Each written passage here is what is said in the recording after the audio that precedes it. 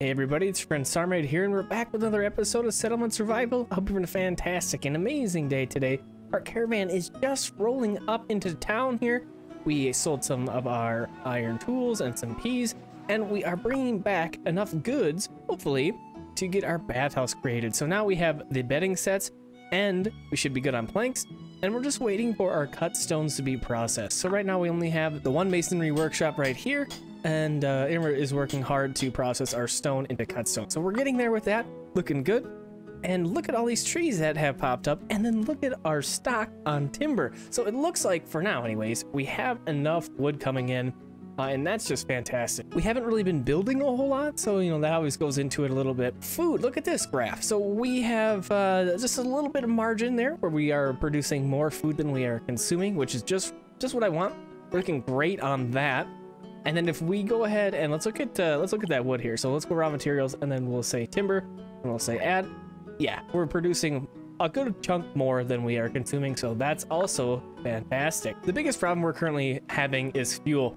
Uh, but with this wood coming in, as you can see, that is reflected here, uh, we should be able to produce enough fuel. And since the caravan got back, we are back up to seven laborers. So most people came back, which is just perfect now we will be able to assign some things. So at the end of the last episode, we were working on our reed fields, currently at 154 reeds stocked up. So if we look at our uh, technologies here, we're working on reeds, so we got that. We're trying to get over to paper. Paper is what I'm kind of focusing on right now. We get paper, that means we can get education efficiency, which is going to increase the rate by 100%, and the output of tech experience increased by 150. So a very powerful thing, we want to grab that for sure. And then, of course, we can start moving into books, which is going to further increase our speed of our research academies and institutes. So very, very good thing we're working on over in here. So right now we have one point. I'm going to go into paper right now because we might as well. But if you look down over in here, we need more planks, we need some more stone, and we need some more iron ore. So we got the technology, that's great, but we're, we're still working on some other things. So processing, we also have the knitting workshop that we got, but we didn't get anything built with the knitting workshop yet. We do have our little area right in here where we have the reeds coming in. And uh, let's see how far down this goes. So it looks like the edge of the radius comes to be about right in here. So let's go ahead. We'll just kind of mark this off uh, using this little technique that I do right in here.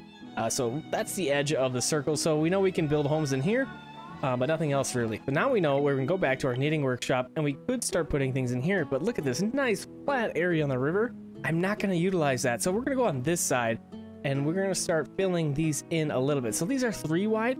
These are kind of weird buildings. So let's go like this. I will do double stack, but let's only work on the one for now. Uh, and we'll get that in, we'll get the road going, and this kind of crisscross a little bit of the roads. So what I was thinking, uh, we have this one uh, forest farm up here, and it kind of looks a little bizarre, I think. We can go a little bit further with our houses in this corner, uh, but we could also fill in a couple more forest farms up here. But I was also thinking we can come over in here with some forest farms as well. So we got a couple of good spots where we can start to make some more wood over in here. Uh, but we're going to have to start working our way in this direction or down eventually here. So we don't want to cram all of our wood production stuff like way back up in here. That's kind of what I was thinking. Let's go over here and share the burden a little bit here. So what are we looking at for our clay stockpile right now? 275, not bad. Because we're looking okay with wood, so I was asking about clay because we can go ahead and do forest farms. But since we're looking okay with wood, I think we will just hold off on that for now. But we have a good plan. So we're gonna go ahead, we'll go over in here. Let's add one more worker to our pasture here, since we have some alpaca now that we have to take care of. And that's gonna bring us to five laborers. We're gonna go ahead and put somebody in the repair shop. Only, only need one person there for now. And now we're looking pretty good. Okay, so we have our textile mill up and running. So we got flax going, we got some linen, and we were going to talk about our clothing situation, which looks like has been more or less resolved. Producing lots of clothes in the last year, so that's also looking fantastic. And uh, looks like we're uh, just kind of hurting on stone a little bit here. So we we need to start working down the happiness tree right in here, and we need to continue to work down the health tree as well. So important pieces we don't want to forget. Um, but what we're kind of thinking about doing besides the stuff that we were just talking about, let's get some paper stock going before we get education efficiency because we're going to utilize that paper for that stuff. So I'm gonna hold up on getting that point. But over in here, we're gonna need the calcining kiln. We're gonna need the refined fuel, and then we're gonna need to get our mines going and our quarries going. So these pieces up in here, these are important right now in the early game. As you can see, we're red on our stone. So let's see if there's anything else around here. So we have to go way over in here, and we know that. We've been doing that in the last couple episodes, of course. Go ahead, we'll mark a little bit. Yeah, I'll mark a little bit. But we want to start doing something that's a little bit more close, I think. Because that's quite the walk. There really isn't anything that much closer. And we will have to complete the bridge.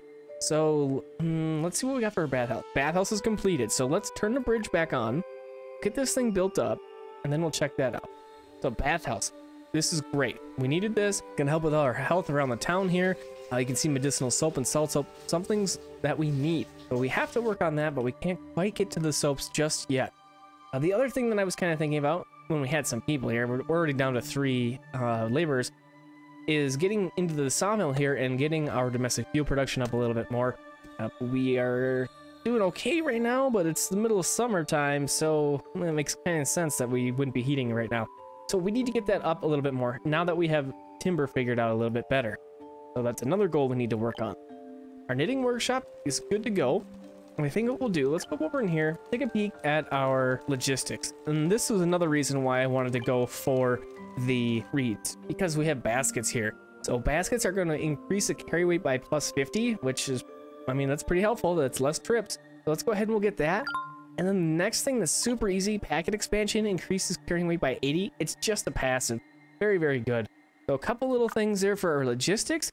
We want to get those things uh, not forgotten about, uh, as well as all these other little things that we're trying to do. You got to do everything all at once, but you got to not do everything all at once. So you have to do little piecemeal pieces. Uh, make sure your food, water, and all those basic things are taken care of, and then you can start pushing into these other industries. So our knitting workshop, we were just talking about baskets. We got the tech. Let's get that queued up and start increasing our carry weights. It's gonna take a little bit of reed, but uh, we get four baskets out of eight reeds. That's a pretty good return. And we have 198 stocked up. Jennifer, getting to work, getting our baskets going. That'll be a very nice addition to have around the town here.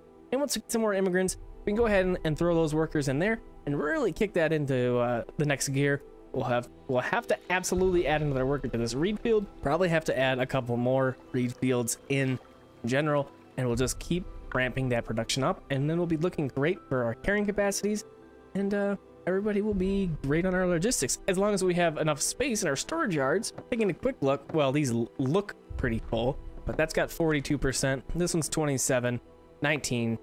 Uh, this one's pretty full, 98, 100. Yeah, so we got a couple of wiggle rooms and a couple little spots, but it's something that we're gonna need to keep track of a little bit more. Now that we are stocking this much food, hmm, maybe we want to kick out a couple of these farmers for now, and we'll put them to use somewhere else. Since we do have a couple other variations of food going on, we got pastures going on here, we do have the hunter's hut going on. We need to have enough food, of course, but I think I'm kind of overdoing it right now. Let's just take another check here at our graph and let's see if this has changed. Yes, it has. Okay, so as you can see, we're making almost twice as much food as we're consuming. In my opinion, we're kind of wasting our labors at that point. So we're definitely going to kick a couple of these farmers out once they're done harvesting the fields, and uh, we will uh, move them to something else. But before we do that, let's see if there's anything else we can really utilize in the field. Some more flax might be good. Let's see what we're looking at. We're doing okay with flax for right now. So I think we'll just go ahead. We'll turn off the standard farm and we can utilize these people somewhere else. So I think what we're going to do, let's shift some of those people. Let's put them into the sawmill here and we'll get a little bit more domestic fuel going on. I will get Douglas in there. Another thing that I wanted to point out, we started with the school in the last episode here and we have nine students in there. So we got lots of kids going to school, learning their stuff, getting better, more efficient workers. So that is happening in the background here. So that's it's good, but it's slow on our labor. So that's why we're really low on laborers right now. Uh, but it's working how we want it to work. Looks like we got immigrants on the timeline. So things are looking up for us. We have new people on the way. We're gonna need to build some of these homes. But before we do that, the school and part of the new patches is adding textbooks to the school. So we come with the Warm Fire book already uh, in our inventory here. A book that teaches the secrets of keeping a fire. It can be used as a textbook in the primary school. After graduation, students have the possibility of gaining extra abilities. So maximum warmth of plus 5% requires the book. and basic consumption of paper. So I think what this is going to say is we can put the book in here, but in order to use it, we need to use paper. So let's go ahead, we'll do that. We don't have the paper used for studying, so we can't do anything with that right now. We'll just hold up, we got it in there, it's looking great. Things are piecing together quite nicely. And uh, let's get some of these houses built up. So we're gonna go ahead, we'll activate these. We'll get the three going. We should have plenty of materials for that. We might need a couple more builders. We'll throw one more person as a builder and we'll get that going. All right, got enough food to last for the winter, easy peasy. And I think I'll bring it back when we get some immigrants and we can continue to carry on new industry stuff. All right, our immigrants are nearly here. Let me show you what we've been doing in the meantime. So we got a bunch of our houses built up and I got a couple more planned in this little area. We threw in a second forest farm over here and then a third one right in here. Kind of doing what I was talking about before, starting this little area, being a forest farmy area. And then we did throw in another paper mill over in here. And we're waiting on 70 planks. So in order to get those planks, we put in a sawmill. And we're just kind of waiting on another worker to get this thing really going up. We got three laborers right now, but I'm not going to just go ahead and dump them in everywhere else. Uh, so we're just going to hold up for now. Uh, the cap on that is going to be 100.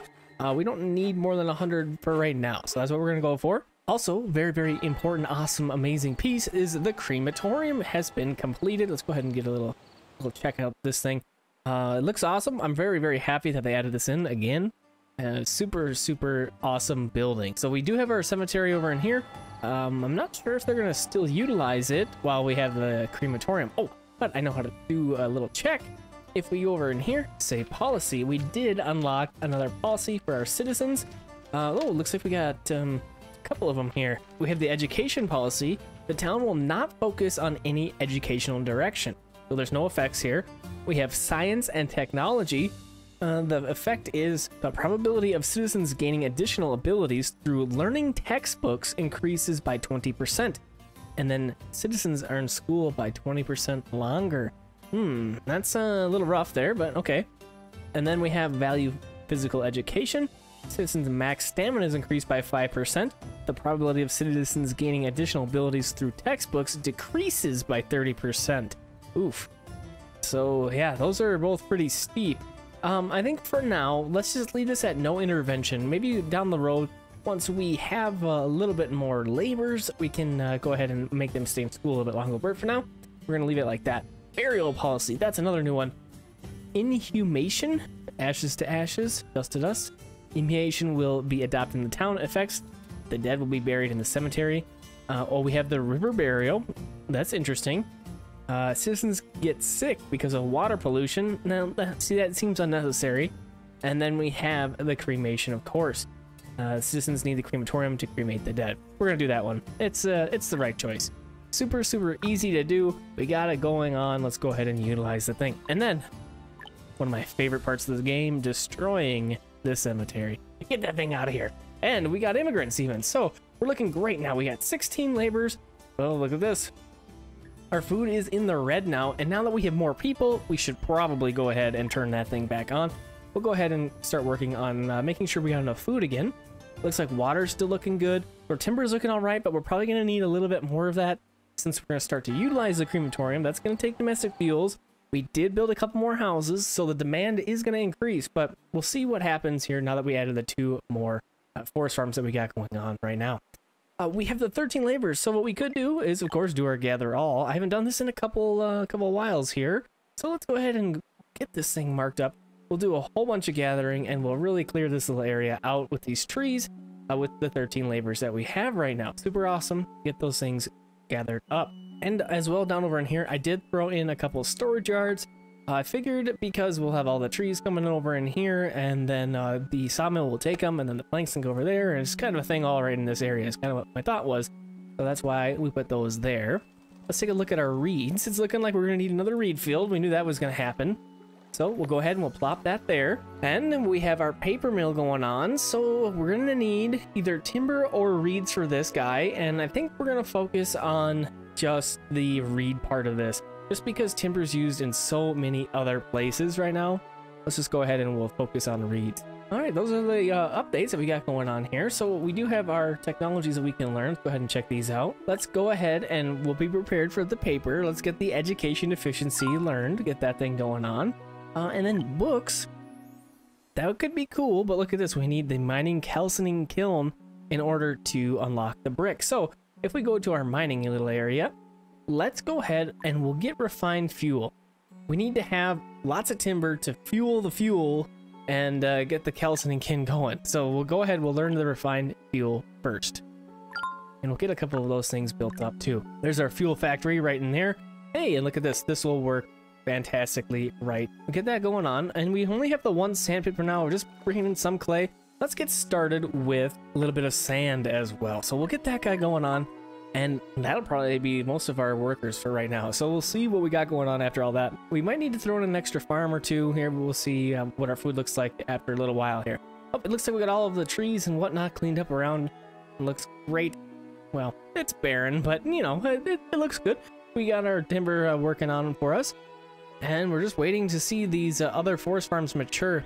So it's 62% and then 57% on the uh, two forest farms there.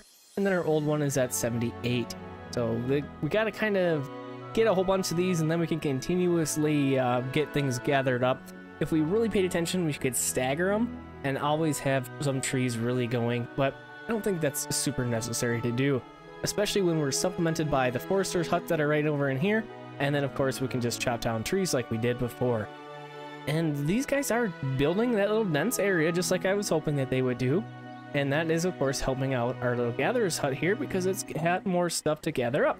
So we got these two things working great, exactly how we want. I'm very happy about that situation. And look at our health, too. I just noticed this. 87% just because we put a bathhouse down here. Super, super good. Glad that we get that going on. A soap workshop would be nice, too. What is that even to entail?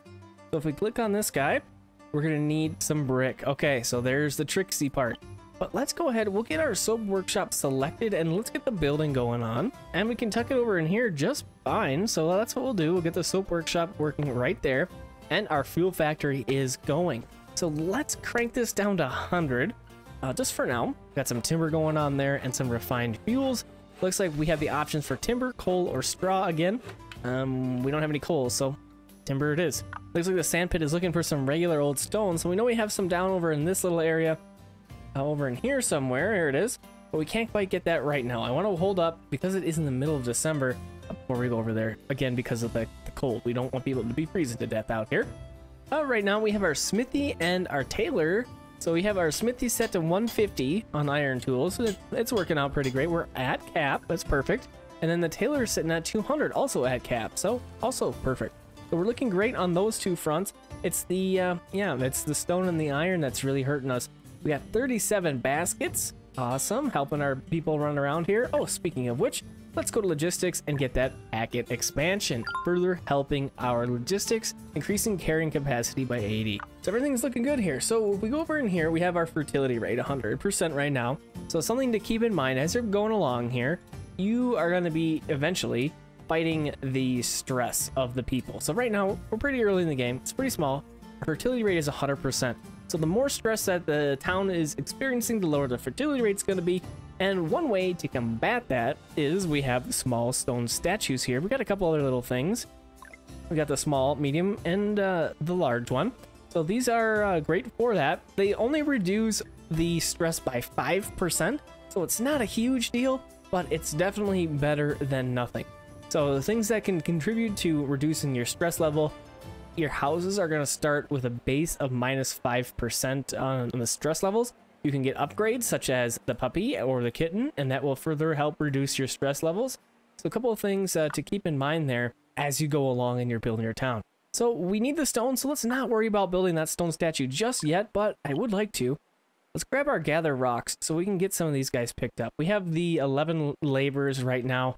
Let's utilize them, get that stuff gathered up picked up. I think we have most of this stuff over in here done. We'll grab that little batch, grab this batch, and there's some right in here. Let's go ahead and we'll grab those guys as well. So a couple things marked up, lots of stone, lots of iron, and we should be looking great once we get all that gathered up. Okay, so we are still waiting on, oh, some planks because we need to put a worker in there, silly. Okay, well, go ahead and we'll do that. And these guys are looking okay. Yep, we got enough of our fuels. That's awesome. Ooh, it looks like water is taking a slip. So we'll go ahead and we'll put one more worker in Big Well. Get that working for us. What else we got going on here? The masonry workshop is stopped because it doesn't have any stone. Makes sense. Let's check a look at our school real quick. We only got one student enrolled right now. Uh, we have no paper, obviously, because we don't have our paper mill yet, but we're still working on that. We should have that pretty soon here. A sand pit is good to go. We want to set this to sand, of course. So now we have one sand, one clay pit. Going pretty good with that stuff. Fuel factory's at 100. Let's bump this up to 150. Get a little bit more stock going. And then we're going to get our next point. We'll get a calcining kiln and we'll get that operation going on as well. So one thing that I think I want to do is I want to move the hunter's hut here. It, it's in a fine spot, but I think we're just going to tuck it up over in here and then we can utilize this area a little bit more, I think, a little bit more better. So we'll leave this one here for now. And then once this guy's good to go, we'll go ahead and we'll delete this one and then we'll, we'll be over in here. So these guys don't have a range, so this should work just fine for us. We almost have our next tech point, and then we can go ahead and get the calcining kiln. That'll be great. And we're looking for some bricks. So yeah, this is exactly where it should be because we don't have the bricks yet, obviously. We're working on that. Immigrants are about halfway here. So what's the scoop with our planks? What, Giovanni, what are you doing over in here, guy? So we have 25 planks created this year. Where did they end up? They must have been used for something else. But that's fine. So we're at 100 planks. Let's go ahead. We'll get another worker in here for uh, Giovanni a little bit of uh, extra help. And let's take another look at our food graph here. So here we are. So now we're not even close with creating enough food compared to what we're consuming. So we need to get back on that. We do have the extra farm back up and running, um, but we might want to add a couple more. Another thing to consider here is it looks like we did intrude a little bit on our radius for our marketplace here. This farm right here is inside the zone where we could be building housing. Uh, for right now, that's not a huge deal, but it's something that we're going to have to move at, at some point here. And I think what we're going to do, I do like the pastures, and I was going to kind of thinking about running pastures all the way down over in here, but I think we're going to go ahead. Let's just get another standard farm going on, and we'll plop this guy about right in here you know, let's just let's just lay them out. We'll do three. I don't think we're going to utilize all those yet, but this should be no big deal to get this thing started up.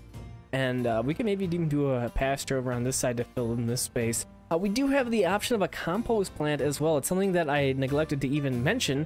Uh, we got that when we went over in here. We went to our agriculture, and then we got compost. So that was that first tech, and then we went down to farming efficiency. So compost, that's what this guy does, provides a 50% production buff for agriculture structures within the range. Building in scenic areas can decrease town attractiveness. Oh, so that's another element that we need to consider now, I guess. So what we could do to utilize this, so this is already getting built up, of course, uh, but we could plop this guy right here. So let's cancel that. Let's do a compost plant. And this isn't the best use of our space, but I think it'll be beneficial. So we'll go ahead, we'll plop that guy there. It covers most of these things, so we'll get this little guy going on. And we can do a warehouse or something right in here. Let's let's go ahead and do that right now. We'll do a little storage yard. Fits in there quite nicely, and we can do one more right there. A couple little spots for extra storage. Can't hurt us. Okay, and then we got two workers here. Let's go ahead and we will go ahead for beans, peas, get a little bit more of that action happening. Since these are the highest yielding food that we have right now, we want to take advantage of that for sure. Paper mill is still coming along. We only need a couple more planks, but I think this is going to be a good spot to call the episode. Thanks for coming and hanging out with me. I hope you enjoyed this episode of Settlement Survival and have a fantastic and amazing rest of your evening, day, or night. And I'll talk to you again soon.